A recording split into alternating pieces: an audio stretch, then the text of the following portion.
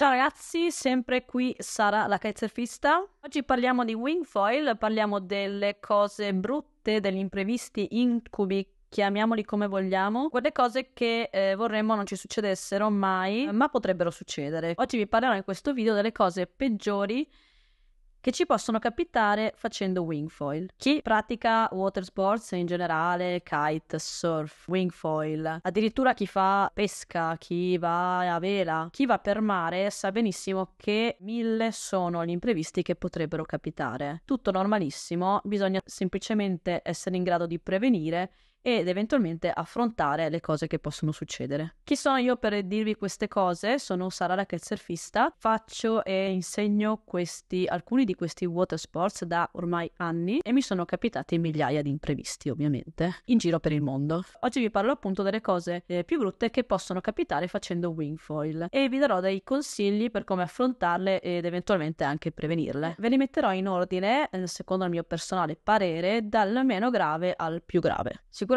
Eh, se guardi questo video ti sei già eh, avvicinato al wingfoil e sai di cosa stiamo parlando se dirò qualche termine tecnico. Ma iniziamo eh, imprevisto numero 1. Si sfila uno strap o una vite dalla nostra attrezzatura, dalla nostra tavola. Si può eh, tranquillamente sganciare una vite, cerchiamo di salvare lo strap e poco a poco tornare verso riva. Si può tranquillamente navigare senza straps. Se non sai cosa sono, te li faccio vedere qui. Come fare per prevenire questo? Mi raccomando, cercare sempre le viti del nostro foil set della tavola prima di andare in acqua, soprattutto se la tavola lasci armata per molto tempo senza svitarla e avvitarla ogni volta. Imprevisto numero 2. Si rompe il leash della tavola. Se eh, stai navigando con venti moderati, questa cosa non è grave. Se invece sei con venti forti, potrebbe essere mega complicato raggiungere nuovamente la tua tavola, soprattutto se c'è del moto ondoso. Si potrebbe cercare di usare il wing un po' invelato per fare più rapidi o nuotare rapidamente per raggiungerla. Questa è l'unica cosa che puoi fare. Se sei con venti forti sarà ben più complesso. Ricordatevi di cambiare il leash se è molto usurato per evitare questo problema e soprattutto controllate di averlo messo bene. Imprevisto numero 3. Si rompe il leash del wing. Questo è una rogna in generale, soprattutto se non te ne accorgi in tempo, lascia andare la maniglia e il wing inizia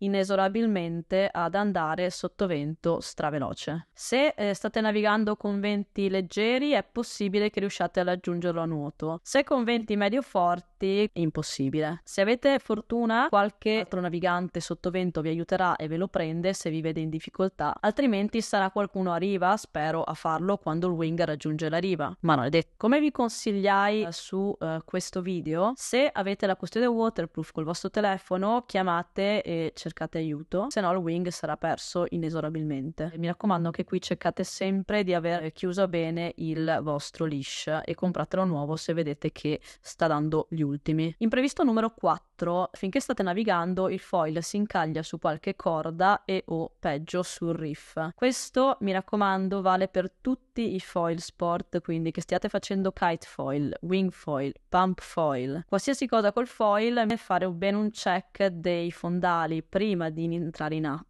Quindi occhio se sapete che c'è marea bassa e un fondo di coralli, io non entrerei. Stiamo attenti a questi dettagli, potreste farvi male e potreste danneggiare molto il foil che quindi perderà il suo valore. Imprevisto eh, numero 5. Finché stiamo navigando il wing si sgonfia. Se ce ne accorgiamo in tempo e cerchiamo di farlo, corriamo il più possibile verso riva e facciamo un controllo, un check della tenuta d'aria del wing stesso e magari ci eravamo solamente dimenticati di chiudere bene la valvola. Se invece succede che si sgonfia del tutto per qualche ragione, finché state in acqua sarà un po' un pacco perché dovete cercare di piegarlo, sarà mega pesante, lo mettete sopra la tavola e insieme eh, andate remando verso riva. Questo qua è un po' un incubo. Mi raccomando, controllare sempre le valvole, che sia tutto chiuso perfettamente ed anche i coccodrillini, questi che servono per tenere separate le due parti gonfiabili del wing. Imprevisto numero 6, molto tipico, con il foil tocchiamo la canopy del wing e si rompe. Finché si impara o finché si impara a saltare è molto possibile che rompiate il wing facendo questo. È normale, mm, non passa nada. Si può riparare la canopy, sarete molto lenti nella navigazione quando avete eh, rotto il wing. Come prevenire? Difficile, ma eh, sempre possibile imparare a cadere bene. Col tempo e la pratica si impara a cadere sempre meglio facendo wing foil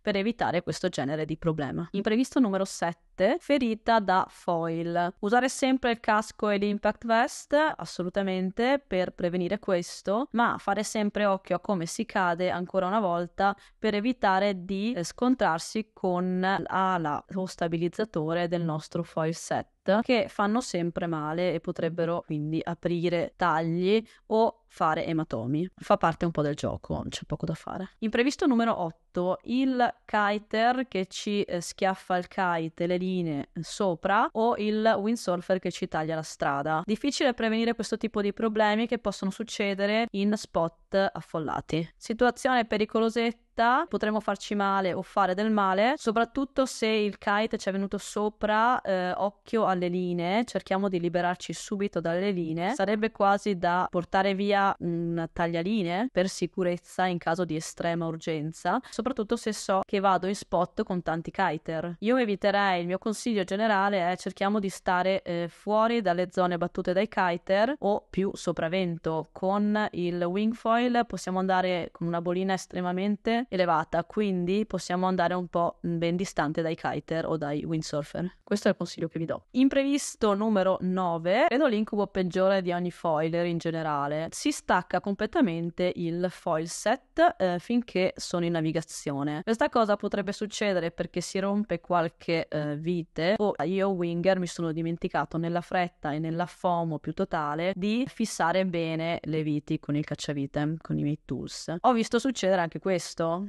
non, non, mi stupirei. Tu vai, stai andando e si stacca tutto ed è andato e bello che è affondato. In questo caso non si può fare niente, a meno che non sei in acque eh, ovviamente eh, poco profonde e lo vedi e lo puoi andare a prendere. Per prevenire, l'unica cosa, controllare sempre, mi raccomando, il setup dell'attrezzatura, le viti devono essere tutte super fissate prima di andare in acqua. Queste sono le cose che ho visto succedere e alcune mi sono successe e forse quasi tutte. No, No, no, no, le peggiori no. Queste sono le cose appunto che eh, potrebbero succedervi finché fate wingfoil. Mi raccomando, se ne hai degli altri o se hai qualcosa da aggiungere, scrivilo nei commenti. Non dimenticarti di darmi un like se ti è piaciuto questo video e iscriverti al canale se vuoi stare aggiornato sul mondo del wingfoil. Se vuoi controllare la playlist wingfoil ci sono pure altri contenuti eh, su questo tema. Per ora vi saluto e grazie mille della visione, al prossimo video. Ciao!